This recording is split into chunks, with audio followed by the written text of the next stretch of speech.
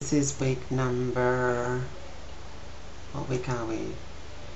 45. Um, the topic is what what books we read when we were kids. Um, the only book I remember ever finishing was Alice in Wonderland. Um, I just couldn't put that down. I was probably about 10 or 11. And um, Mum used to get all these like kids books and everything and I wasn't a big reader. I'm still not. I'm still not really into reading um, except for Vogue magazine you know something like that. But um, Mum used to get me get us these books. Me and my, my, my brother and my sister these books and they all had religious overtone messages and they were kind of weird and a bit freaky and a bit scary. Um, so we used to read those when we were sick, like at home or something. But other than that, it was just comics. I, I read comics. And um, Richie Rich, um, DuckTales, um, Little Lotta.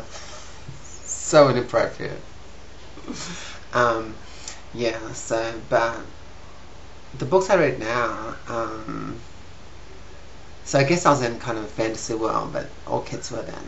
But um, the books I read now, I love autobiographies. I love to read about other people's lives and um, things like that. I just finished a book by um, Joan Collins, the one and only book that she did write, and it was quite amazing. Um, can't remember what it was called, but it was really, really, really good because I know she got in trouble for getting halfway through her second book and leaving it, and um, she got sued by the company. Um, but yeah, go figure that Jane Collins could write.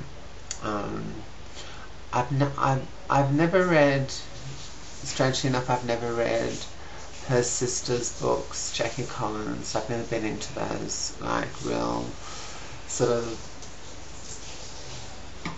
R-rated sort of books or anything like that. Um, I love, but I do love things about Hollywood and things like that.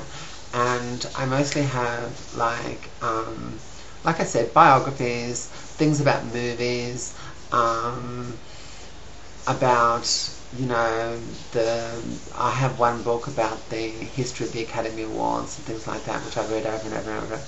And um, at the moment, I'm reading Chelsea Lately, um, and it's called Are You There Vodka? It's me, Chelsea. And she was in Sydney recently doing her act, and I really, really wanted to go and um, get my book signed, but I didn't make it in time. She was filming over here for a show.